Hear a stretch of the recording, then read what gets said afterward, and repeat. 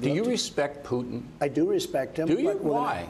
well, I respect a lot of people, but that doesn't mean I'm going to get along with him. He's a leader of his country. Uh, I say it's better to get along with Russia than not. And if Russia helps us in the fight against ISIS, which is a major fight, and Islamic terrorism all over the world, Right. major fight, that's a good thing. Will I get along with him? I have no idea. It's very He's a possible killer, I though. won't. Putin's a killer. A lot of killers. We got a lot of killers. Why, you think our country's so innocent? You think our country's so innocent? I don't know of any government leaders that are killers in America. Well, take a look at what we've done too.